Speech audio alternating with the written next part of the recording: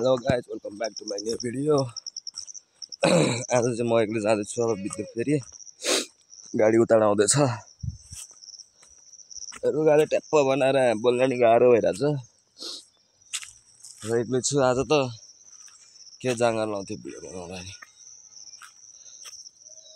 अब गाडी आउँछ गाडी चढेर जान्छु त्यति बेला आज एक्टिभ हुनु होला लास्टै गाह्रो भइरहेछ आज त उताबाट गाडी निस्क्यो हाम्रो गाउँमा आँपेर त्यो मिठा मिठा आँप पाइन्छ हाम्रो गाउँतिर र गाडी आयो र म चाहिँ अहिले बटार गर्नु छु यस्तो साढे दुई भइसक्यो घाम यस्तो चर्को छ रुगा लाएर गाह्रो भइरहेछ टाउको त्यस्तै दुखिरहेछ आज पल्ल बने परिचय पत्र यही कामको लागि आएको थिएँ क्या म यही काम भयो अब फेरि भोलि आउनुपर्छ पासपोर्टको लागि फेरि भोलि आउनुपर्छ। पर्खारो भइरहेछ त्यहाँ आज कम हुन्छ होला सायद। The next day. म चाहिँ हिजो परिचय पत्र बनाएर आएँ होइन। यसो ज्वरो सोरो आयो अलि बिरामी भएको थियो। आज चाहिँ बिहान उठेर मुखसुख धोएँ बोल्न गाह्रो भइरहेछ अझ नि घाँटी पुरै यस्तो पुरै दुखिरहेछ। भाइ उता स्कुल गयो यो भाइको स्कुल भाइको स्कुल। मम्मीहरू पनि आफ्नो काममा गएकाहरूले घरमा एक्लै छु अल्छिलाइरहेको छ बस्न पनि। पुरै घाँटी दुखेर पुरै गाह्रो भइरहेको छ क्या।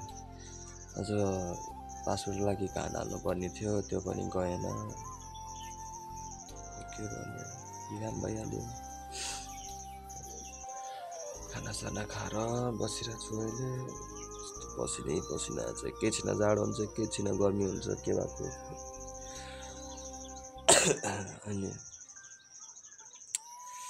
खै के हो के हो हाम्रो यो नेपालको यो काम गर्नलाई लास्टै गाह्रो अस्तिदेखि लाइन बसेको बल्ल तल्ल हिजो पालो आउँछ हिजो पनि एक दुई वर्षसम्म उतै थिएँ म घर आएँ घर आएर उता मेडिकल गएर दबाई सबाई लिएर आएर खाएर सुतेको एकैचोटि बिहान दस बजी उठेँ।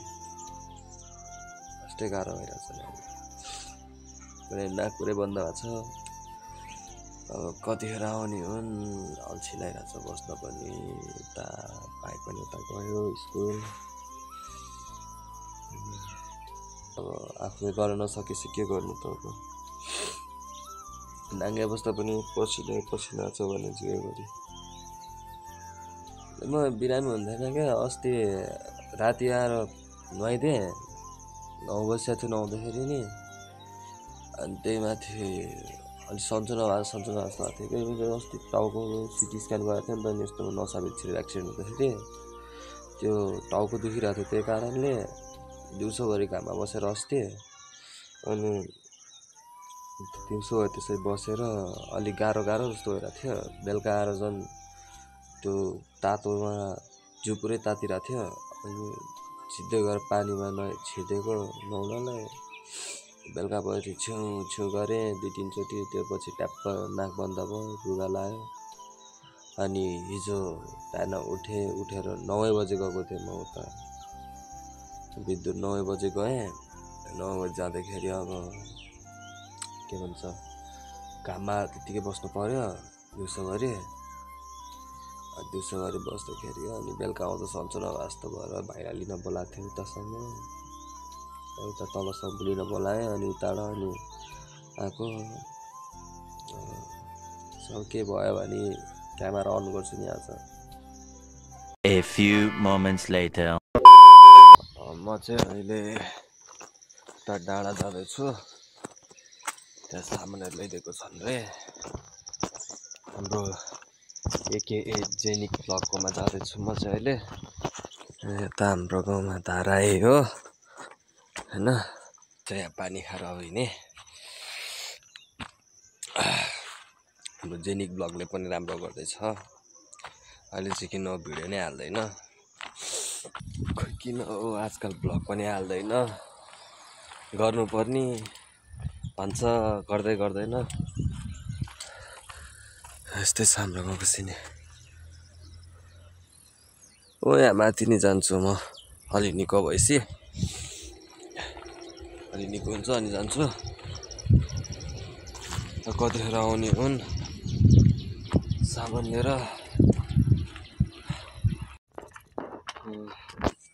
यो हाम्रो जेनी ब्लकको घर चाहिँ होइन।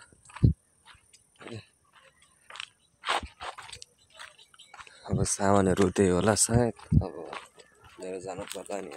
मैले चाहिँ सामान लिएँ सामान लिएर अब घर जाँदैछु। हेरेको चाहिँ सामान चाहिँ घाममा हिँड्न पनि सकेको छैन गाह्रो भइरहेछ। यस्तो घाम चर्किरहेको छ अहिले यहाँ चाहिँ शीतल छ। फेरि घाममा आइपुगिहालेँ के गर्नु त सामान लिएर जानै परिहाल्यो। ल्याइदिँदैनन् कसैले पनि। यत्रो यति उकालो चढ्न नि गाह्रो हुन्छ छ्या।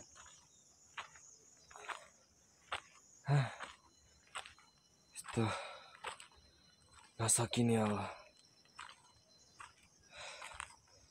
यस्तो चर्किया घामे हेर्नुहोस् त यस्तो चर्किरहेछ घाम अनि? यस्तो घाममा कहाँ हिँड्न सकिन्छ त नि होइन म चाहिँ हाम्रो जेनिक ब्लकको अब घरबाट अब घर जाँदैछु फर्किँदैछु त्यहाँसम्म हिँडेर जानु पनि कस्तो झ्याउ लगाइरहेको छ भने छ्या यस्तो घाम चर्किया अनि जाँगर त कहाँ लाउँछ र अब चार पाँच बजीसम्म एक्लै बस्नुपर्छ भाइ आउँछ अनि